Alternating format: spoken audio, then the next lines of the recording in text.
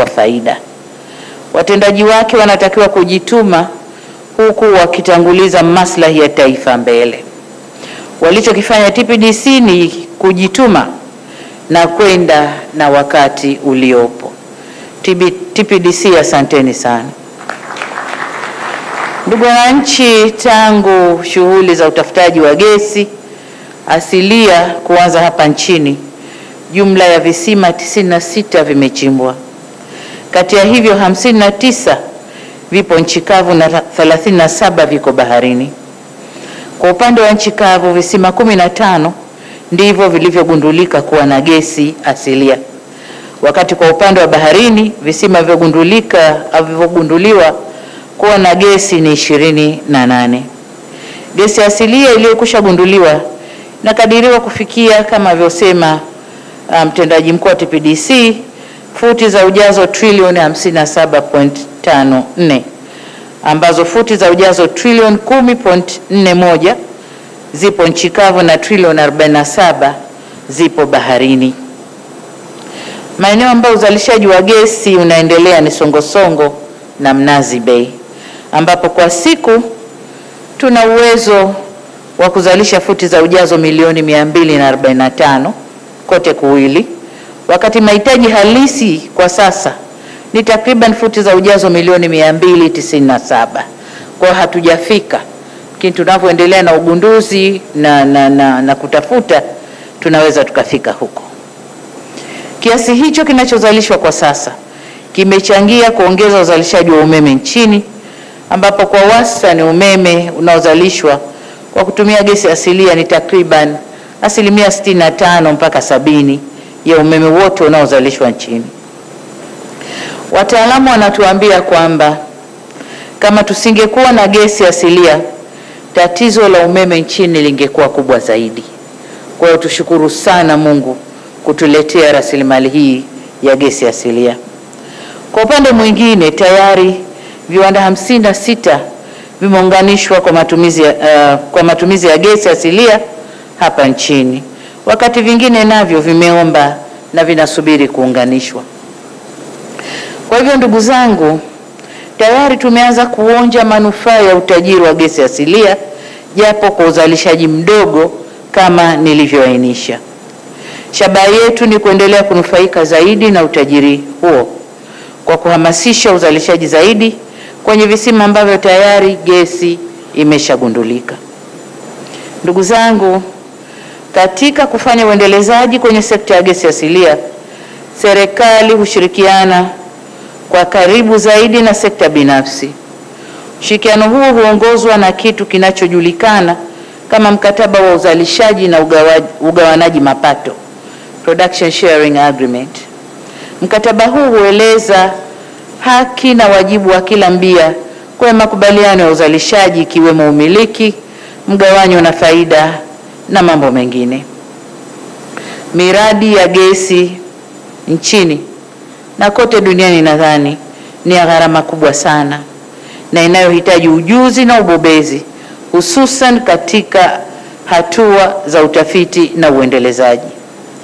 Gharama huongezeka zaidi wakati wa uchorongaji wa visima ambapo kwa kisima kimoja na hichi ni cha nchi kavu inaweza kufika dola za Marekani 40 milioni kisima kimoja cha nchi kavu. Lakini wakati mwingine kama nilivyosema, visima vilivyochimbwa ni 97 vyogundilikana na gesi ni vichache. Kwa wakati mwingine unaweka pesa hiyo na hupati kitu, pesa imepotea. Kwa shughuli hii ni gharama kweli kweli kuifanyia kazi. Uh, kama nilivyosema, kwa mfano kati ya visima 96 vilivyochorongwa hadi sasa ni visima 43 pekee ambavyo gesi asilia ilipatikana, na vile visima vyenye gesi gharama za uendelezaji nazo ni kubwa vile vile. Kwa mfano, inakadiriwa kwa gharama za uendelezaji kitalu cha Mnazi Bay kule kaskazini ni dola za Marekani milioni mia tano hamsini. Sasa dola hizo ni sawa na bajeti ya wizara zetu mbili, bajeti ya mwaka mzima kwa wizara mbili. Hiyo ni gharama za uendelezaji kitalu kimoja. Kwa hiyo tuone ule uzito ambao wanaojikubalisha kuingia na kufanya kazi na sisi kwenye sekta hii ni watu ambao wameamua, wamefanya maamuzi, pamoja na kwamba sekta hii nayo ina faida, lakini kwanza lazima jasho likutoke, alafu ndio ukaone faida. Sasa kutokana na miradi hii kuwa na gharama kubwa, hekima inatuongoza kuwa shughuli hizi zifanywe kwa ubia na wenzetu wa sekta binafsi ambao kwao inatoka mitaji, ujuzi, ubobezi na teknolojia ya kisasa. Sisi kwetu hatuna, na ndio maana tunakaribisha sekta binafsi tufanye nayo kwa karibu. Ndugu zangu, mkataba wa ugawanaji mapato wa kitalu cha Mnazi Bay baina ya serikali kupitia TPDC na mwekezaji yameshasemwa, iliipa TPDC asilimia ishirini kwa miaka 25 iliyopita, lakini wakati waliowekeza walivyoanza ku, kuona hakuna mwelekeo na mmoja kutaka kuuza hisa, basi mikataba hii kwa kawaida inasema napotaka kuuza shia zako, kwanza waambie wenzio ambao uko nao kwenye zile shia. na ndipo nilipomwelekeza waziri kwamba lazima tununue asilimia ishirini ya hizo shia, iwe iwavyo, tununue hizo shia, na kwa sababu tuna mbia ambayo yuko madhubuti, nilijua shea hizi, pesa hizi tutakazoziingiza hazitapotea, baadaye huko mbele zitatupa manufaa makubwa. Kwa hiyo tumefanya hivyo, na sasa kama mlivyosikia, tuna umiliki wa asilimia arobaini ambayo inatupa nguvu ya kusema yetu kwenye hiyo. Kwetu sisi serikali, hili si jambo dogo, ni jambo kubwa, kwa sababu ni jambo la kwanza amesema waziri hapa, kawaida tunapitishiwa makaratasi ya wenyewe kwa wenyewe, makampuni ya nje yanauziana share, lakini mara hii ni kampuni ya nje inaiuzia share ya serikali. Kwa hii ni historia. Kwa nitumie fursa hii kuwapongeza wote waliosimama kidete kuhakikisha jambo hili linatokea. Vijana wetu wa timu ya majadiliano, asanteni sana. Nafahamu haikuwa rahisi wala haikutarajiwa iwe rahisi, lakini kwa umahiri wa vijana wetu kwenye management na busara ya wazee wetu kwenye bodi, jambo lililoanza kwa ugumu limekamilika kwa uzuri bila kulazimika kufikishana mahakamani. Tumekwenda vizuri. Kwa tunakushukuru mwenyekiti wa bodi na bodi yako kwa miongozo mliokuwa mkiwapa timu ya majadiliano. Leo hii tuna saini makubaliano mapya pande zote zikiwa zina furaha. Kwa shukrani zangu kwa wote wataalamu wetu walioingia kwenye majadiliano wa, wa, wa sekta mbalimbali, lakini ofisi ya mwanasheria mkuu kwa kukagua mikataba na kusema ingezeni hili, fanyeni hili, toweni hili. Ni washukuru Wizara ya Katiba na Sheria kwa kusaidia nako Wizara ya Fedha lakini pia waziri ambaye ni naibu waziri mkuu pamoja na watendaji wako, asanteni sana. Kwa upande mwingine, niwapongeze pia wabia wetu kwa kuelewa dhamira yetu na kukubali kujadiliana kwa nia njema. To you our partners, thank you for quenching our thirst and understanding our position and for your commitment to this mutually beneficial partnership with us. We say thank you so much. Tunawashukuru sana. Ndugu zangu, mtakumbuka Mheshimiwa Rais Widodo kama alivyosema naibu waziri mkuu alifanya ziara nchini kwetu mwezi Agosti mwaka jana, na katika ziara ile, mmoja katika jambo nilizungumza naye kwa kina na lilichukua muda mrefu lilikuwa hili. Pamoja na jingine litakuja si muda mrefu la kampuni ya AESA inaitwa AESA, AESA au ESA kama hivi.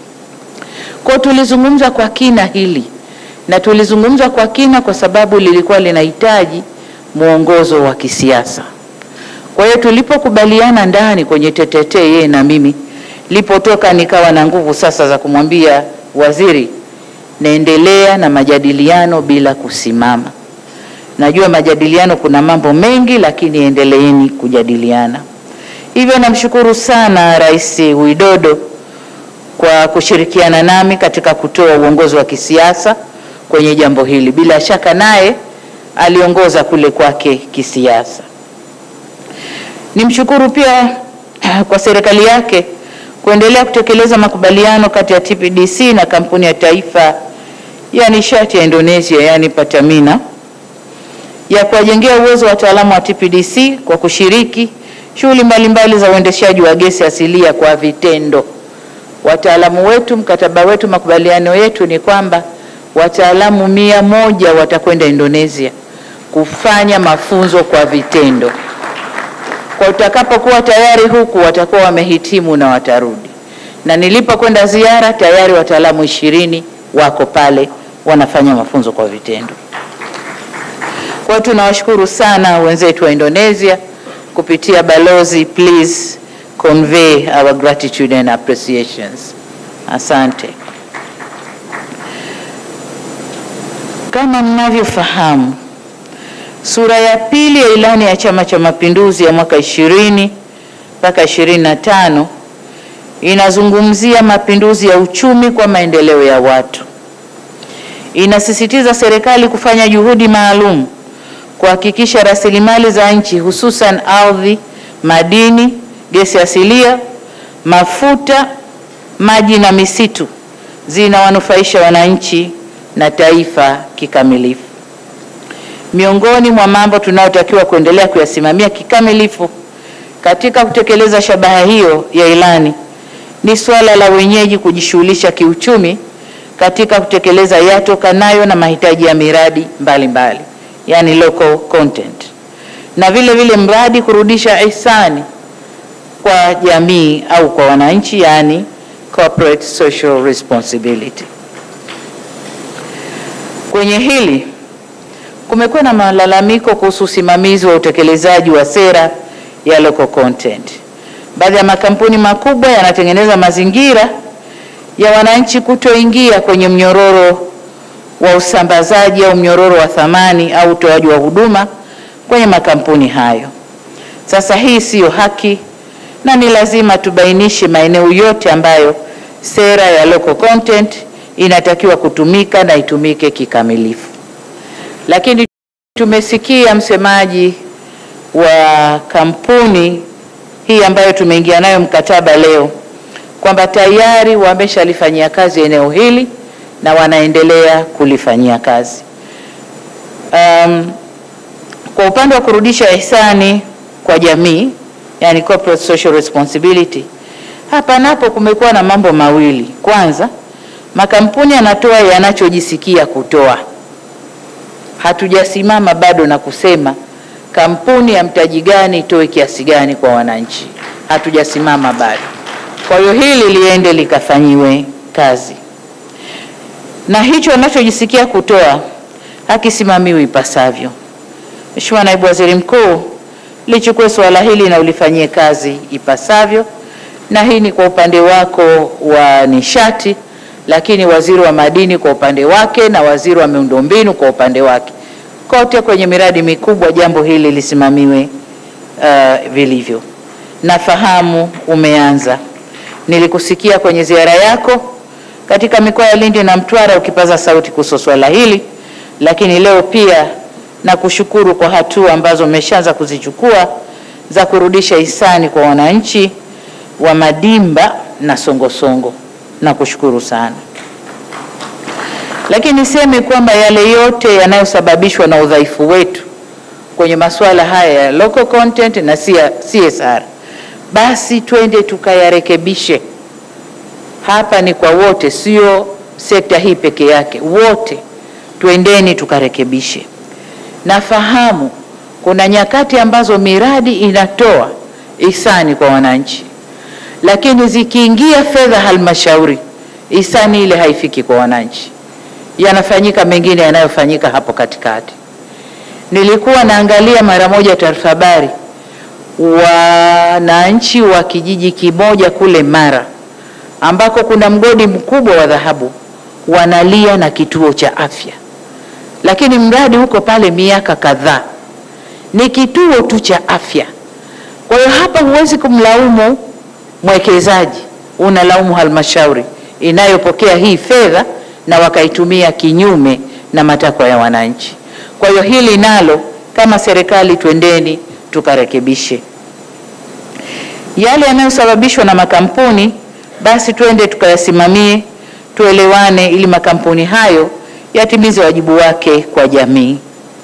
Ni lazima wananchi wafaidike na matunda ya uwekezaji kwenye maeneo yao.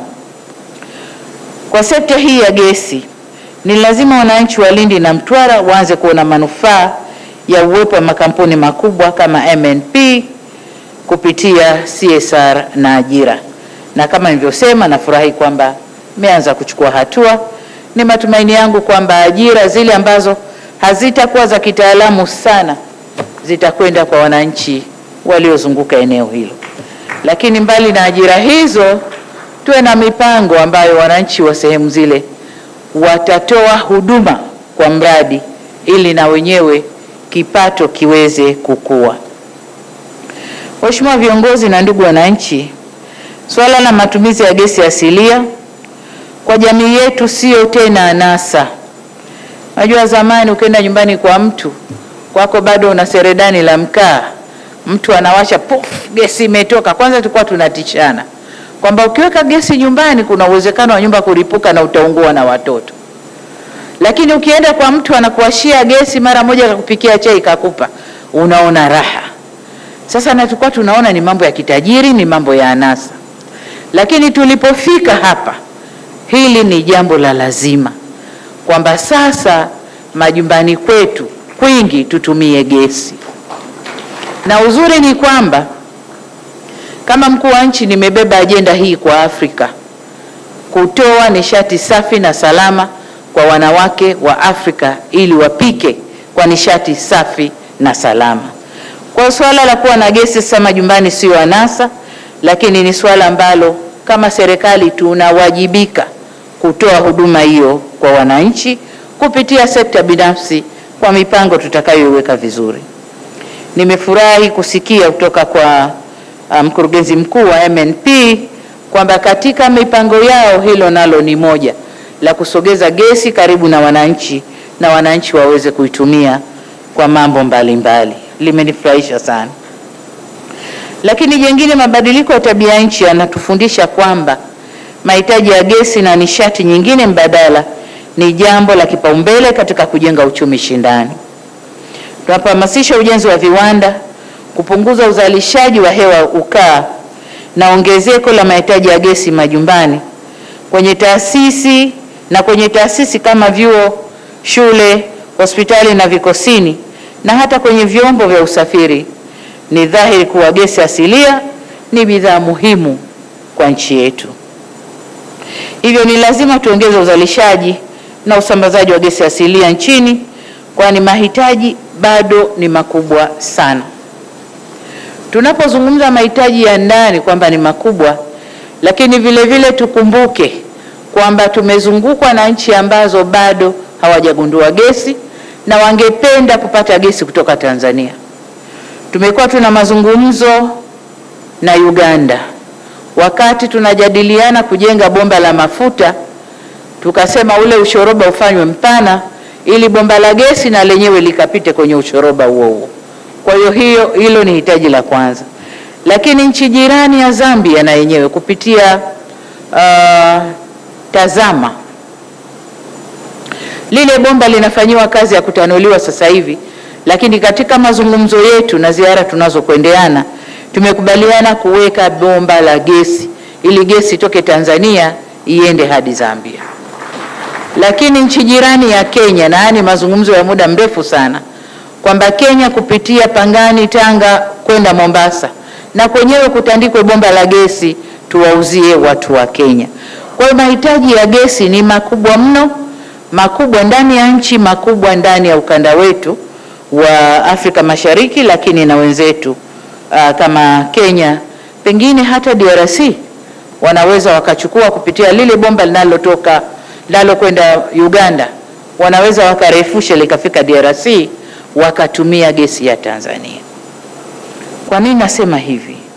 Nasema hivi kwa sababu nataka wizara ihakikishe sekta ya gesi asilia inatupa majibu ya mahitaji ya nishati ya uhakika, ikiwa hapa nchini kwa bei nafuu kwa kaya zetu zote, lakini pia viwandani na kwenye vyombo vya usafiri. Lakini pia nataka mshirikiane na sekta binafsi au hawa mlio nao au wengine watakao kuja, tuweze kuzalisha gesi zaidi, kwa sababu mahitaji ya gesi ni makubwa mno.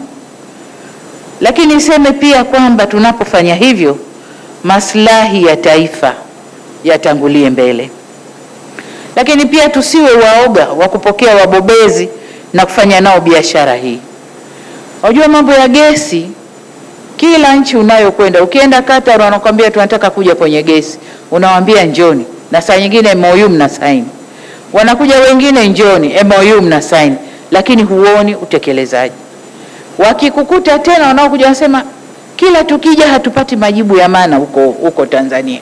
Kwa hiyo bado tumekwama, mambo hayaendi. Kwa tusiwe waoga kuwapokea wabobezi na wenye mitaji watakao kutusaidia kuigundua na kuitumia kuiweka kwenye matumizi gesi asilia, sababu ni rasilimali tuliyopewa na lazima tuitumie. Na kama mnavyojua matumizi ya gesi yana mipaka huko ulimwenguni. Sisi nchi tunazoendelea tumepewa nadhani mpaka elfu mbili na hamsini tuendelee kutumia gesi zetu zilizoko nchini kwetu.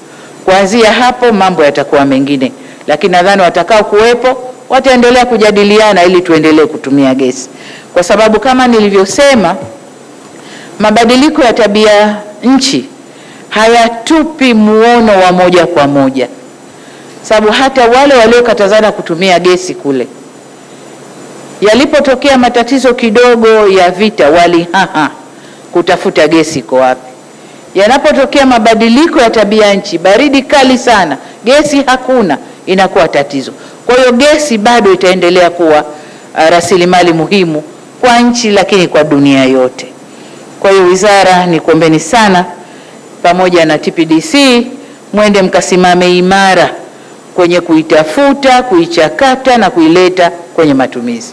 Wenyewe hatuwezi, tuvute watu tuingie nao ubia, twende mbele. La muhimu kama alivyosema uh, makamu wa rais, tuwe na umiliki wa rasilimali yetu hata kwa asilimia arobaini. Hicho ndio kiwango tunaweza, lakini tuwepo, tuwe na, na, na, na, na nini na maamuzi kwenye kutumia rasilimali yetu. Nihitimishe kama nilivyoanza kwa kuwashukuru sana kwa kunialika kushuhudia jambo hili kubwa. Mwelekeo wetu uwe huu, tunapopata fursa tunapopata fursa ya kuongeza ushiriki na umiliki wa makampuni yanayofanya vizuri sokoni, tufanye hima kufanya maamuzi ya kuongeza hisa zetu, sio tu kwenye gesi, lakini kote. Tukiona mbia wetu anafanya vizuri na kuna uwezekano wa sisi kuongeza share, twende tuongeze share. Mashirika ma, ma, ma nchi nyingine huko ndizo ndivyo zilivyokuwa. Makampuni mengi yanayokuja kufanya kazi kwetu, ukiangalia kwa ndani ni kampuni, lakini kuna mkono wa serikali ndani yake. Kwa na sisi tunapaswa kujijenga hivyo, makampuni yetu yawe na mkono kwenye makampuni yanayokuja kufanya kazi kwetu. Kwa hiyo tujitahidi, jinsi uchumi unavyoimarika, tujiimarishe kwenye shea za makampuni zile zinazotumia rasilimali zetu za asilia. Um, baada ya kusema hayo, tumeona mikataba imeshasainiwa. Niwatakie utekelezaji mwema wa mipango yenu mbalimbali kwa ajili ya kuchangia pato la taifa na kukuza uchumi.